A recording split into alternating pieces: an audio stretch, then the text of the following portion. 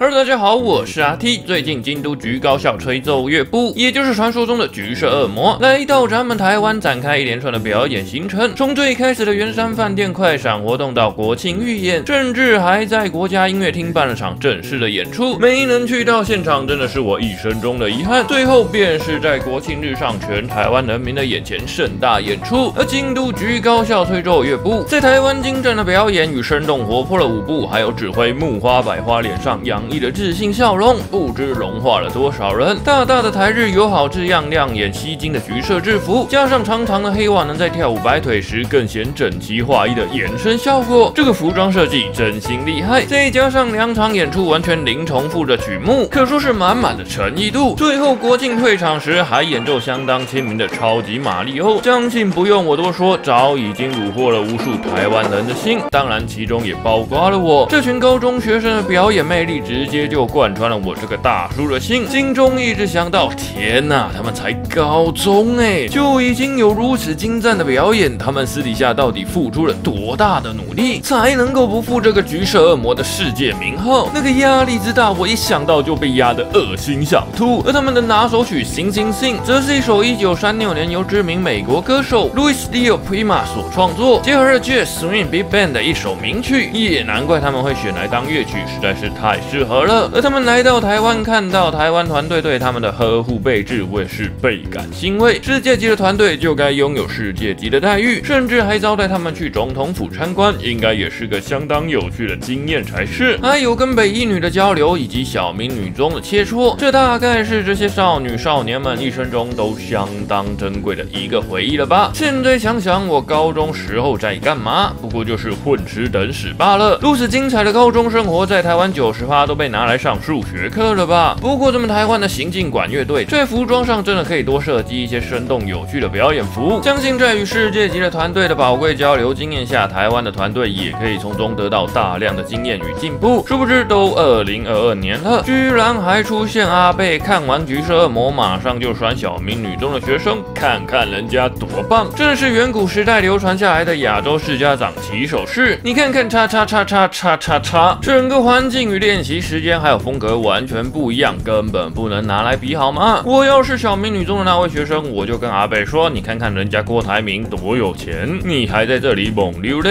后来还有另一位小明的学生说，局高校的学生每天三点就放学了，但小明的学生每天不但上课到五点，还有课后补习要去。首先这位同学对于日本的下课时间还蛮有概念的啊。再来我看到的就是台湾教育可悲的一面，可怜呢，每天上到五点才放学，放学后。还要接着去补习。想当年我也是这种狗屁教育的牺牲者。高中的时候甚至礼拜六还要上整天，接近断考时礼拜日还擦擦的要去学校，真的是可笑的台湾教育。这样的教育是要学生们去哪里拿时间出来练习？真的是没有任何比较的基准。而日本方面，据说京都局高校在征询家长是否愿意让孩子到台湾参与国庆演出时，全数家长都因为对台湾印象很好而欣然同意。还有家长说，连我们都。都想一起去了，这还真的要感谢国民们为台湾建立起如此良好的形象。不过很遗憾的，入园一百零六人中还是有十来人没有一起来。另一方面，又看到台湾教育可悲的一面。你可要知道，京都局高校吹奏乐部表演完后，随即便冲回日本，都是因为他们隔天还要期中考。这要换成台湾的家长，就先断在练习时间上了，更别提期中考前出国表演。当然，我相信台湾开明的家长还是很。很多的，尤其是从现在这一代的家长开始会越来越多。如果我家巨魔也能有如此珍贵的经验，那该是多么精彩的经验！看完橘色恶魔的表演后，我一直这么想。当然啦，也要看他本人之后究竟喜欢些什么。当然，他的人生以后想做什么，还是得由他自己做主。我也只能从旁辅助。不过他现在才三岁，还是先从我无情的游戏素材收集机开始训练起比较实在。而这个京都局高校最终。教育部能够来台湾表演，最需要感谢的还是从中牵线的所有推手们。感谢你们让台湾的人民打开了眼界，更看到了许多台湾教育上的问题。这方面会不会有所进步，我就不清楚了。而橘色魔的部长竹内望孝在接受采访时也表示，逐渐喜欢上台湾，还好台湾没有给他们带来坏的印象。而这个橘色魔到底是什么来头呢？我们就来简单的了解一下。如果觉得这类影片还不错的话，欢迎按下订阅，开启小铃铛哟。当然也可以。加入会员每个月赞助阿 T 多喝两杯饮料补补脑。先加入会员太麻烦的话，也可以直接点击超级感谢斗内给我哟。那么这个京都局中学校高等学校，它最早是一间成立于明治三十五年的京都首义女学校，到现在也有一百二十年的历史。后来经过一连串的改革与私立化，一直到一九五七年才变成了现在的京都局女子高等学校，更是在两千年才改成男女共学的制度。也就是说，他们的吹奏乐部加入男。生的时间最多只有短短的二十二年，而这所学校也不是只有吹奏乐部厉害，足球部也是相当有名的。现役的职业足球选手先头起始，当年就是京都局高校的足球部出身，当时跟一年级的后辈小乌松之斋在全国高中足球选手权大赛就联手得了五分，成为得分王。两人现在也都是日本的职业足球选手，而且他们的排球部也是相当强大。现今的日本排球代表井上晴惠也是京都局高。高等学校的排球部出身，还有现在已经退役的伦敦奥运铜牌的宗道同也是。不得不说，在日本学校什么社团出身，只要肯努力、持之以恒，后来靠着社团技能吃饭的人比例相当高。当然，跌落谷底的人也是不在少数。而传说中的吹奏乐部成立于一九六一年，已经有六十一年的历史经验。在女校时期就已经是日本晋级地区，也就是日本中间京都那一大区域的常胜军。吹奏乐部还分成室内管乐团和。行进管乐团两种，行进管乐又分为管乐组、打击乐组以及视觉表演组，也就是我们在国庆表演上看到的那样。因此，行进管乐不是只有管乐而已，而且日本有支持的行进管乐编导有三千多人之多，在台湾应该是屈指可数才是。而这全都归功于美国刚发起时，日本就随即跟进。因此，一九六一年，平松久师教授来到京都局女子高校担任音乐教师，凭着自己的经验创造了吹奏乐部。当时的。第一批成员只有十六人，而且以当年的风气，很少有女校会开办吹奏乐部。后来平松教授意识到男女之间的不同，在运用腹式呼吸法的时候，跟男生的吸气量会有差距与持久性的差别。因此平松老师根据医生的建议，引进了行进管乐来作为训练手段。然而在当时，行进管乐是源于军队行军时用于统一步伐的手段。然而你也知道，那是战后没几年的时候，在当时肯定遭到了许多家长的反对，还。各种试图让自己的女儿退步，这样的故事又可以做成一部励志的日本王道漫画。不过事实也证明，女性在行径管乐上也是完全不输男性的存在。所幸在老师与学生的努力不懈下，他们参与了1970年大阪世界博览会，由四支吹奏乐队所组成的队伍。而这个大阪世博会又被称为大阪万博，这个太阳之塔肯定有许多人都看过。时隔五十五年的2025，听说又要再次举办，到时候我还不冲泡？后来，一九七二年，ZMBA 日本行进管乐协会成立，同时将步伐确定为五米八步，也就是传说中的一步六十二点五公分，让女性的行进管乐的可能性大幅迈进。这便是行进管乐入门的最基础基本功，每步都要走六十二点五公分。后来，一九七五年，平松顾问感到自身的精力已经很难传授给学生，便带领吹奏乐部已经扩增到五十名的学生参加英国哈罗盖特国际青年。音乐节是的，一九七五年代高中生飞英国，你敢想象这老师的心脏有多大颗吗？不愧是吹奏乐部的大大大师匠，也难怪现在飞个台湾可以如此轻易地通过家长们的关卡。这就是长久时间建立下来的民风与素养，而且当年也是要有人去突破与建立的，那个人就是大师匠平松久师教授。台湾缺少的就是这些勇于突破的人才，于是有了英国的宝贵经验后，平松顾问发现。在国外演出，与当地的居民互动是极其有意义的行动，我也是这么认为的。这都是一生中极其宝贵的经验。然而，这人在一九七五年就已经发现，后来一九八一年他又带了一批幸运儿到夏威夷的考爱岛去表演，这也就奠定了后来三年一次的考爱岛之旅，从此成为吹奏乐部的传统。现在若再改成台湾，也是绝对不成问题的一件事啊！最好是每年都来台湾一次，而他们制服也就从大阪万博那年。开始就一直是橘色，至今也就被称为了传说中的橘色恶魔。再后来便是日本各种全国大会的常胜军，当然其他学校也都相当优秀。但是演奏方式如此有娱乐性与表演性，还有渲染性的，也就只有橘色恶魔而已了。因此也就常常受邀到美国或迪士尼乐园一起游行。而他们的有名程度，当然也有被运用在动画之中。在武田宁乃创作的小说《吹响吧，上帝音号》中有那么一所丽华高校的吹奏乐部。人称水色恶魔，就是以橘色恶魔作为蓝本，动画更是传说中的京都阿尼美制作。在动画里，丽华高中也是常胜队伍，同时让主角队北宇智大乱阵脚的强队，更被明日香学姐评价为明明长得很可爱，却微笑着边演奏边跳的，真的是很可怕的一群人。而丽华一词在日语里也读作塔奇班纳。不过在剧中，丽华高中并没有打进全国大赛，而且动画的戏份也相当的少，出场也。只还原了一小段局高校的登山缆车就没了，毕竟机会是要让给主角北宇治高校的。不过在现实中，京都局高校就获邀参加宇治市 Cross